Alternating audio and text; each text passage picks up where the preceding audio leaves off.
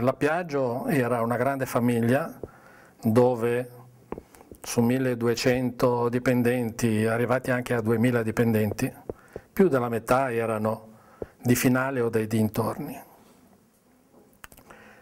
Molti usciti dalla Piaggio andavano a fare i camerieri nei periodi estivi, molti avevano la campagna e quindi uscivano dalla Piaggio e facevano i contadini, E qualcuno diceva anche che in Piaggio si lavora poco, che non si lavora bene. In realtà eh, era un po' una storia, cioè la Piaggio manteneva la gente a lavorare, molte volte qualcuno ha parlato di calciatori che venivano assunti in Piaggio per avere uno stipendio fisso, qualcuno in Piaggio si faceva qualche lavoretto per conto suo, mm, qualcuno faceva dei lavori esterni comandati magari dai superiori, però è sempre stato un accordo dal dottor Piaggio, allora padrone, proprietario più che padrone perché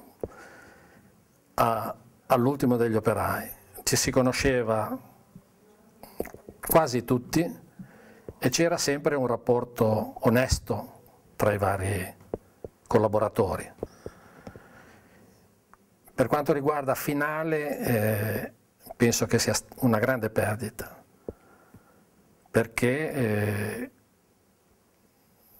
manca quell'aiuto che in passato c'era per le famiglie.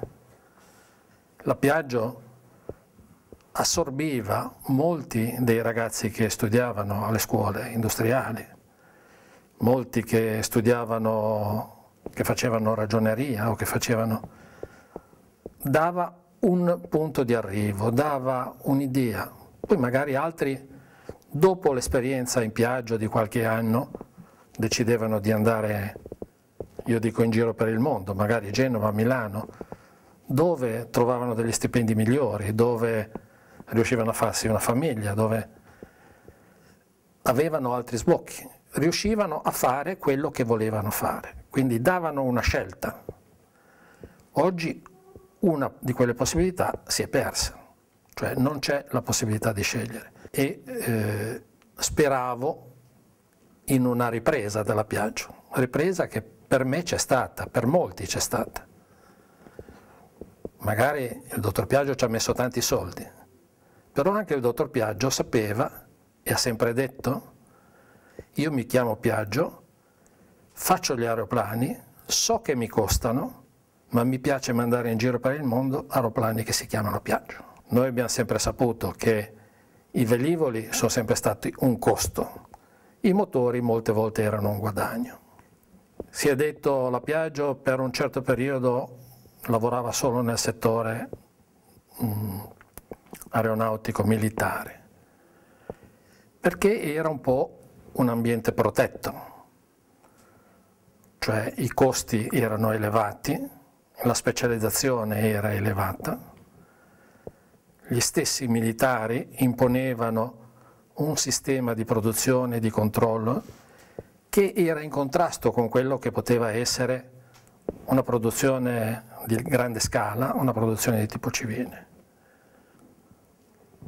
è stato ascoltato, ma il suo consiglio non è stato messo in esecuzione. Il 180 è cresciuto, è nato, è cresciuto, lì eravamo ancora solo sulla carta, come un aeroplano particolare. Ha avuto un grande successo, in America aveva un concorrente, lo Starship. Era un aeroplano di produzione americana, di progettazione americana, fatto dalla Beach, era tutto in composito, era eccezionale. Era un canard puro, cioè una grossa ala posteriore e il baffo, quello che noi chiamiamo il baffo, ala anteriore che serviva per il controllo dell'aeroplano. Ne hanno prodotti 60 e poi hanno smesso la produzione. Il 180 ne aveva prodotti meno, ma è andato avanti. Ha resistito e ha superato lo Starship. I certificatori americani che avevano certificato lo Starship, aeroplano bellissimo, quando sono venuti in Italia e hanno volato sul 180 per fare i voli di certificazione del 180, hanno detto questo aeroplano è molto meglio dello Starship, già allora. Abbiamo fatto quasi 2000 ore di volo con i prototipi per arrivare alla certificazione. Gli americani dopo 400 ore certificavano gli aeroplani e li mettevano in produzione. Da noi, il direttore tecnico, il direttore del settore ah, aerodinamico, ha sempre voluto cercare la perfezione. Spendevano soldi. Qualche volta hanno detto ma intanto non sono soldi nostri, erano soldi del principale. Però hanno sempre avuto l'ok e hanno ottenuto un ottimo risultato. 180 vola ancora adesso e qualcuno ce lo invidia.